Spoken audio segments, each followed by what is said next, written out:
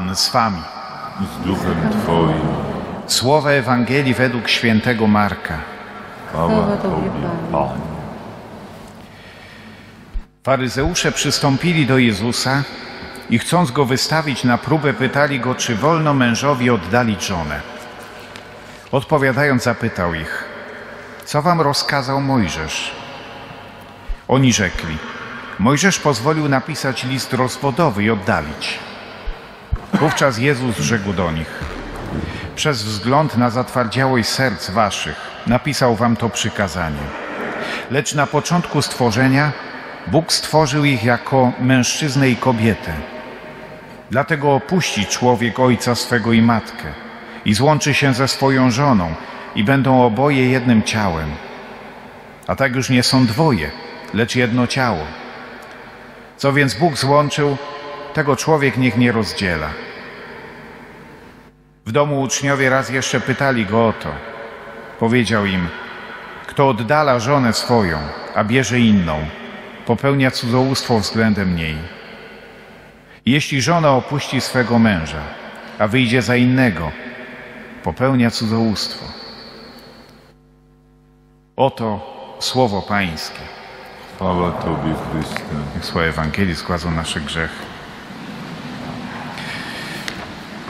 Dzisiaj otrzymujemy od e, Kościoła piękne słowo, piękne fragmenty z Pisma Świętego, które odnoszą się do jednego z najbardziej pierwotnych, fundamentalnych powołań człowieka. To jest, e, że wszyscy jesteśmy powołani do tego, żeby żyć e, w relacji jeden do drugiego.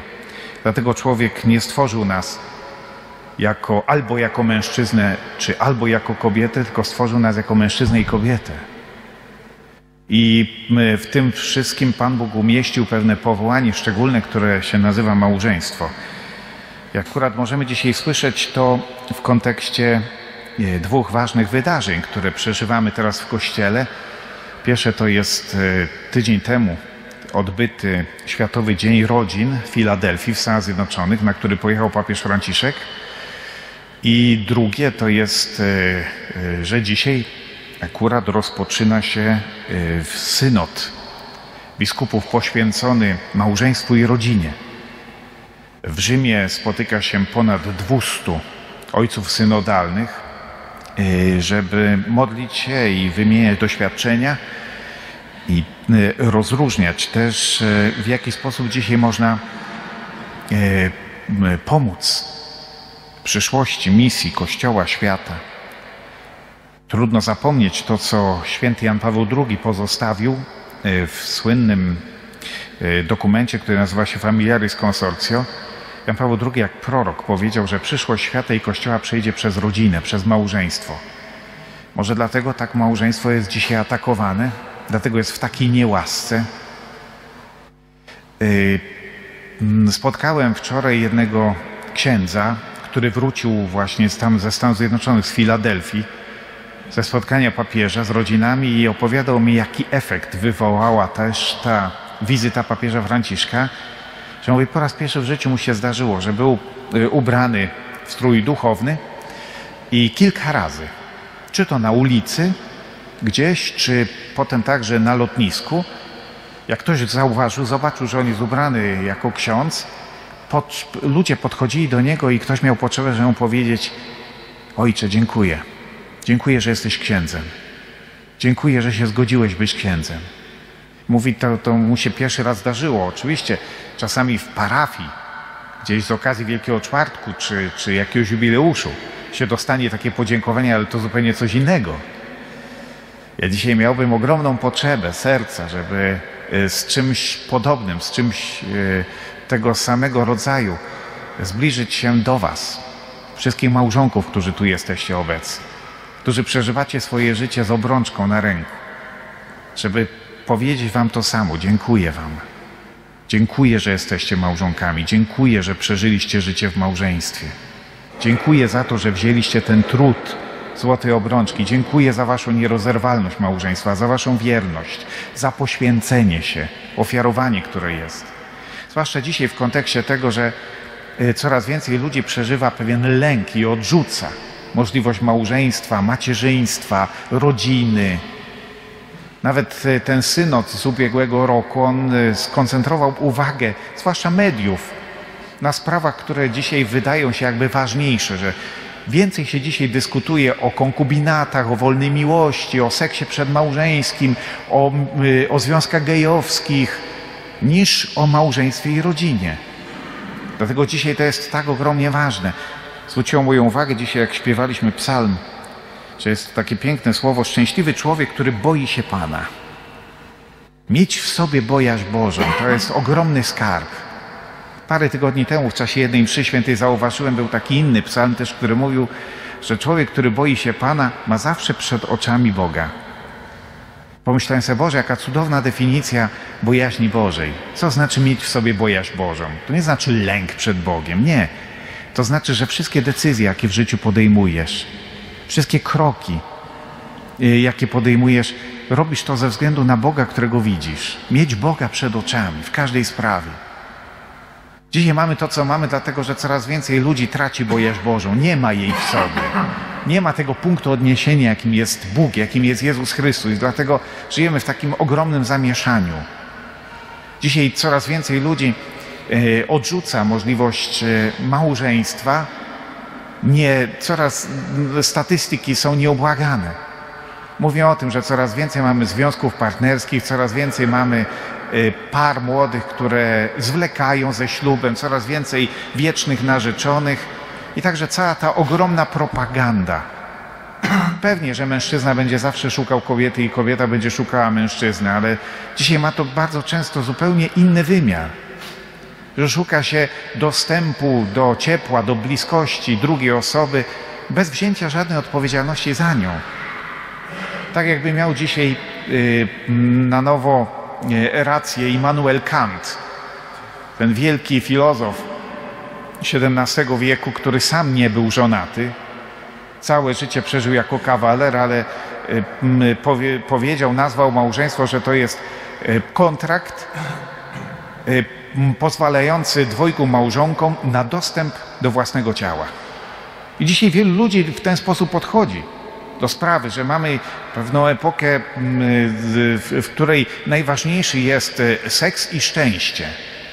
I wielu ludzi szuka szczęścia poprzez podręczniki technik seksualnych, jak się dopasować, jak uzyskać najwięcej przyjemności, satysfakcji ze związku, szczęścia. I dlatego mamy efekt taki, jaki mamy, że mamy dzisiaj epokę e, smutnych ciał. Ciał, które sobie dostarczają jak najwięcej satysfakcji, jak najwięcej przyjemności. I coraz więcej ludzi mamy takich, którzy im więcej szukają szczęścia, tym więcej zapachu smutku noszą, noszą w sobie. Jeśli ktoś szuka swojego szczęścia w oparciu o techniki, o podręczniki technik seksualnych, to nie wiem, czy sobie zdaje z tego sprawę, czy nie, ale uczestniczy świadomie bądź nieświadomie w jakiejś y, ukrytej propagandzie piekła. Zrobić sobie życie, z, z życia piekło, zrobić sobie z życia taką perspektywę, gdzie jest wszystko. Może być zakochanie, może być sza, szaleństwo uczuć, porządliwości, tej chęci bycia szczęśliwym, ale nie ma miłości. Nie ma miłości. Dlatego dzisiaj jest, mamy to, co mamy. Dzisiaj także Ewangelia jest znamienna, symptomatyczna, bo bo y, przychodzą ludzie do Jezusa, faryzeusze do Jezusa, żeby zadać mu przede wszystkim jakie pytanie, co jest najbardziej y, interesujące. Kiedy człowiek może się rozwieść? To jest pytanie, które zostaje Jezusowi postawione. Czy jest y, według Ciebie, czy jest uzasadnione rozwieść się, czy nie? Jesteś za rozwodami, czy nie? Zobaczcie, że dzisiaj temat rozwodu stał się tematem powszechnym. Z jednej strony to lekkie podchodzenie do rozwodu że wydaje się, że rozwód to jest jedno z praw y, jednostek, które zostało wywalczone i nie można nawet na ten temat dyskutować. Gdyby dzisiaj ktoś próbował cofnąć ten przywilej, no będzie wrogiem ludzkości. Wielu młodych ludzi dzisiaj podchodzi z taką mentalnością rozwodową już. Albo ma rodziców, którzy się rozeszli. Mamy to, co mamy, że to lekkie podchodzenie do rozwodu, temat wielu y, seriali, wielu filmów, takie o, zbiorowe oszustwo, które często widać też po świecie VIP-ów, gwiazd.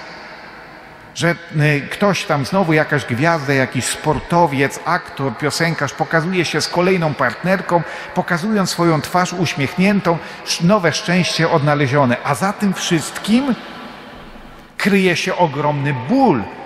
Ból wyeliminowania, odrzucenia, skreślenia. Ból niejednej kobiety, która przeżyła rozwód, rozłąkę, która czuje się porzucona, źle potraktowana przez swojego męża, zdradzona i nie odnajduje wewnętrznie pokoju. I wiele kobiet nie może uspokoić swojej potrzeby, żeby się odkuć, żeby zemścić się. Potem przychodzą inne y, koleżanki i mówią: Puść go w skarpetkach, niech cierpi przez resztę życia. Albo ból niejednego chłopaka, mężczyzny, który zostaje y, rzucony, porzucony przez swoją kobietę swojego życia, wsiada do samochodu i zaczyna przekraczać jakąkolwiek prędkość, bo, myśl, bo nadchodzą mu najgorsze myśli, żeby się zemścić na tym światem albo żeby popełnić samobójstwo. A za tym wszystkim mamy tragedię tylu dzieci.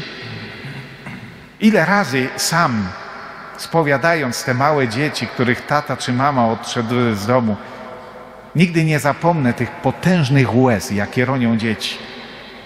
Kiedy zostawia ich tata bądź mama i nie mogą czuć niczego innego w sobie, jak, to, jak poczucie bycia zdradzonym, odepchniętym. Czy to przeze mnie, czy to nasza wina? I dlatego dzisiaj mamy to, co mamy. Jezus Chrystus mówi, odpowiada faryzeuszom, ale yy, co wam nakazał Mojżesz? A ludzie mówią, Mojżesz nakazał, pozwolił nam, yy, dopuścił rozwód, pozwolił nam się rozwodzić. I wtedy Jezus mówi, przez zatwardziałość waszego serca. Ale na początku było inaczej. Jezus wskazuje na zatwardziałość serca i dlatego dzisiaj w tym kontekście słyszymy o Jezusie Chrystusie że Chrystus, który, my patrzcie na Jezusa, kiedy słuchacie o tym, kiedy słuchacie o małżeństwie, o, o, o tym pla, o planie Boga, o rozwodach, o separacjach, o konkubinatach, patrzcie na Jezusa. Na tego, który przyjął, zaakceptował bolesne cierpienia śmierci. Przyjął cierpienie śmierci. Dlaczego? Bo jego śmierć ma wartość nieskończoną. Bo jego śmierć jest po to, żeby otwierać drogi nadziei w życiu nowych ludzi, żeby mogli mieć dostęp do tej prawdy fundamentalnej, która daje życie. A jaka jest prawda? A prawda jest taka właśnie, Jezus Chrystus odwołuje dzisiaj do początków. Mówi, na początku było inaczej, bo Bóg stworzył człowieka jako mężczyznę i kobietę. Stworzył nas do tego, żebyśmy mogli zrealizować się poprzez dar z siebie samego dla drugiego, wychodzić ze swojego egoizmu, daje, dawać się. I to jest właśnie coś, co dzisiaj jest bardzo trudno przełamać, bo ludzie mają lęk przed kochaniem. Dlaczego? Bo drugi człowiek staje się tym innym, którego ja sobie nie wymyśliłem, którego ja nie mogę sobie zaplanować. To jest właśnie doświadczenie małżeństwa, budzi dzisiaj lęk. Dlaczego? Związać się na całe życie z człowiekiem, który jest odmienny ode mnie? Tak, właśnie. Na tym polega cud, że dwoje ludzi odmiennych Bóg może uczynić jednością, jednym ciałem. To jest plan Boga. I to jest coś więcej niż stworzyć, jak to się nieraz mówi banalnie, nową komórkę społeczną. Albo to jest coś o wiele więcej niż romantyczne złączenie dwóch serc. Dwa życia, dwie biografie, odmienne, różne, stają się, mogą stać się jednym ciałem, komunią, która będzie odzwierciedlała miłość i jedność, która jest w Bogu, bo Bóg nie jest samotnikiem. Bóg jest Ojcem, który ma Syna i jest Duch Święty, który ich łączy, który, jak mówią teologowie wschodni, ma naturę kobiecą. I małżeństwo, rodzina jest odzwierciedleniem natury Boga, czymś, co jest głęboko wpisane w nas. Ale Bóg postanowił, że stawia ci yy, przed Tobą pewną trudność. Dlaczego? Że najbardziej ukochana osoba Twojego życia staje się inna. Musisz doświadczyć, że ona jest inna. Co to znaczy, że jest inna? Że y, w inny sposób reaguje, w inny sposób myśli, ma inny gust. In, inny gust. Ty jako kobieta przez całe życie będziesz próbowała zrozumieć i nauczyć się, co to znaczy męski punkt widzenia. I ty jako mąż także, kochając y, akceptując kobietę Twojego życia, będziesz przez całe życie zmuszony do, do uczenia się, co to znaczy kobieca wrażliwość, kobiece spoglądanie na świat, które jest zupełnie inne. I stąd właśnie ta psychologiczna niezgodność, którą się nieustannie odczuwacie w małżeństwie. Do tego stopnia, że taki e, angielski e, pisarz Chesterton mówił, że e, w, w przekonaniu większości mężczyzn wszystkie kobiety to wariatki, a w przekonaniu większości kobiet wszyscy mężczyźni to potwory. Skąd ta nie, nie, niezgodność, skąd ta różnica? A jeszcze dołoż, dołóżmy do tego fakt, że pochodzicie z różnych rodzin, z różnych tradycji, różnego wychowania i wprowadziłeś w małżeństwo zupełnie odmienny gust od Twojej żony i zupełnie, zupełnie inne podejście, inne słowa, które są używane, inny sposób komunikowania się, inny sposób reagowania, który pochodzi z odmiennego domu, z odmiennej kultury, z odmiennej tradycji. I stąd mamy właśnie te różne trudności i lęk przed innym. I wielu ludzi ucieka od małżeństwa, ucieka od tej rzeczywistości. Uciekają od, od macierzyństwa. Dlaczego? Bo mają strach przed tym, co de facto realizuje życie człowieka. Co jest prawdziwą receptą na ludzkie życie, na ludzkie szczęście. Bo być szczęśliwym to, to, to nie znaczy mieć udany seks, czy, e, czy mieć dostęp do wszystkich przyjemności życia. Bo wielu ludzi ma udany seks i mają wiele przyjemności życia i mogą sobie na wiele rzeczy pozwolić, a potem wpadają w depresję albo sobie, albo sobie strzelają w łeb. Natomiast e, psychologowie amerykańscy teraz opublikowali pewne nowe badania, zadali sobie pytania, w jakim momencie życia człowiek jest najbardziej szczęśliwy. Co człowiekowi daje największe poczucie szczęścia? Wiecie, co wynikło z tych badań? że największe poczucie szczęścia ludzie mają w momencie, kiedy mają małe dzieci. O, o, w ten sposób ludzie sami deklarują, że małe dziecko, widzisz, kiedy, kiedy y, dostaje trochę miłości, trochę pokarmu, trochę ciepła, trochę opieki, widzieć małe dziecko szczęśliwe. Dziecko, które cieszy się. Dzieci umieją wyrażać radość. My dorośli nigdy nie będziemy umieli tak zapiszczeć i tak zawrzeszczeć, jak, jak, jak dziecko szczęśliwe. I y, to jest właśnie ten plan, projekt Boga, że dwoje staną się jednym ciałem, że będziesz mógł przekroczyć barierę samego siebie, barierę swojego własnego egoizmu, żeby się podarować, stać się y, darem dla drugiego. Ale ten drugi jest y, inny. Dlaczego Bóg akurat tak wymyślił, że poprzez, y, po, dlaczego ci stawia w małżeństwie tego innego, który jest odmienny od ciebie, którego sam nie zaproponowałeś, nie wymyśliłeś? Jest, y, jest czymś bardzo złudnym szukać sobie dziewczyny własnych marzeń, czy chłopaka, który będzie księciem z bajki. Wielu ludzi nigdy nie osiąga małżeństwa, nigdy nie jest w stanie zbudować żadnej relacji, jeśli próbuje sobie wymyślić swoje własne życie. Natomiast jeśli przyjmujesz, akceptujesz tę drugą osobę, którą pokochasz, która cały czas będzie odmienna, inna, która w tym sensie, jak mówi Pismo Święte, będzie dla ciebie pomocą. W ten sposób słyszeliśmy dzisiaj w Księdze Rodzaju, kiedy Bóg stworzył Adama i umieścił go w ogrodzie, Adam nie czuje się usatysfakcjonowany do końca, ciągle mu czegoś brakuje aż dopiero Bóg postawił mu kobietę vis-a-vis przed sobą i z serca Adama wydobywa się po raz pierwszy krzyk zachwytu. To jest to, to jest moja druga połówka, to jest ciało z mojego ciała, kość z moich kości. I powiada Pismo Święte, że Bóg uczynił mężczyźnie kobietę, która będzie pomocą dla niego. Ciekawe, że kiedy się patrzy do oryginału Księgi Rodzaju, to tam dokładnie po hebrajsku jest napisane, że mężczyzna otrzyma w kobiecie pomoc przeciwko sobie. Co to znaczy? Jak to zrozumieć? Powiadają niektórzy rabini, że to jest właśnie tajemnica Boga. Że jeśli jesteś tego godzien, to dostaniesz kobietę, która będzie pomocą dla ciebie. A jeśli nie jesteś tego godzien, to dostaniesz kobietę, która będzie pomocą przeciwko tobie która krytykując cię, kontestując cię, stawiając ci ograniczenia, warunki, będzie nieustannie cię zmuszała do tego, żeby wychodzić poza siebie samego. To jest tajemnica, że Bóg stawia drugą osobę jako inną od ciebie po to, żebyś mógł doświadczyć miłości do tego absolutnie innego, którym jest Bóg. Że bliźni, druga osoba, kochana, drugi człowiek jest drogą do tego, żeby dotknąć Boga, znaleźć Boga, doświadczyć Go. Wielu ludzi szuka Boga w sposób pogański w życiu. Wydaje się, że y, można znaleźć Boga poprzez piękny zachód słońca, poprzez cuda natury, albo poprzez zagłębianie się w, w tajniki swojej podświadomości. Ale zawsze uwaga, bo z głębi mojej pustki zamiast Boga może wypełznąć potwór egoizmu, który pożre Twoją duszę. I nic Ci nie zostawi, i nic nie ocaleje.